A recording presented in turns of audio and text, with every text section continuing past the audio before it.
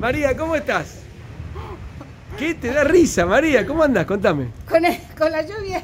¿Con la lluvia? ¿Te trajo la lluvia? Yo creo que Bueno, bien. contame, ¿cómo anda el barrio? La verdad es bárbaro. La, la gente, bueno, somos todos adultos mayores ya. Todo muy lindo. El barrio Molino espectacular. La gente de la comisión se mueve muy lindo. ¿Te la- colaborás en la comisión? No, este, la verdad que no, no he estado colaborando, pero bueno, te comento y ahí viste la, la- la asistencia que hacen en el barrio, muy lindo. Siempre acompañan a la gente, que eso es lo importante. Bueno, vos también trabajás siempre con la gente. Sí, sí, nosotros ayu- ayudamos, juntamos ropa y lo que se necesita se le da a los chicos. ¿Dónde juntas ropa? No, me, me traen y yo dono, vamos al hospital también, para los niños, viste que hay gente que tiene ropitas de bebé, Sí. lo pueden llevar al hospital porque por ahí vienen algunas mamás que nacen y viste de bebé y no tienen. así Bueno, ¿a dónde te pueden llevar la ropa, papá? No, ¿Dónde es tu a casa? mi casa en la calle 2, 1454. ¿Entre qué, qué? Entre 31 y 33. ¿Y vos le llevas al hospital o te sí, encargás de repartir en la gente que necesita? van, viste, me piden zapatillas a los niños y eso sí, bueno, gracias a Dios, bueno, hasta lo que uno puede colaborar, viste, que es importantísimo para en este momento.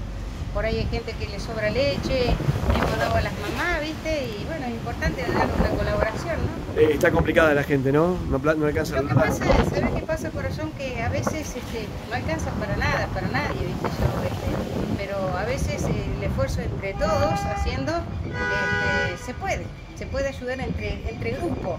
Si no hay eh, comunicación entre la gente, ¿viste? La gente siempre se, se desliga, pero gracias a Dios, los que matan son los alquileres. Sí. Hay mucha gente en la calle, ¿viste? Mucho. Bueno, vos sos una referente del barrio y lo debes ver todos los días, No, ¿no? sí, sí, gente que se va a ir a la casa de los padres. Sí, sí, pero que- aparte, ¿sabes lo que pasa, amor? Que la municipalidad no puede hacer nada.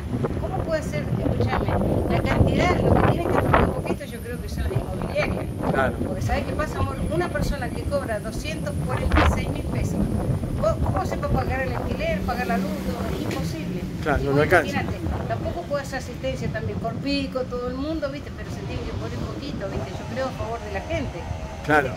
Por otro lado, por ahí tenés el Claro, dueño que hizo el esfuerzo de tener un departamento y no y qué hace. Hicieron casa, la mayoría se quejan porque esto, no se tienen que quejar porque hoy te cobran poner 60 mil pesos la- la- el- y no es nada, pagás para que otra persona pueda tener una casita, Claro. porque hay mucha gente desamparada totalmente, ¿viste? entonces hay que tratar entre todos, juntarnos, ser más comunicativos, no agresivos, viste, yo voy al supermercado, me río, viste, la gente le tira Le pones onda. Eh, sí, Gracias, María, como siempre.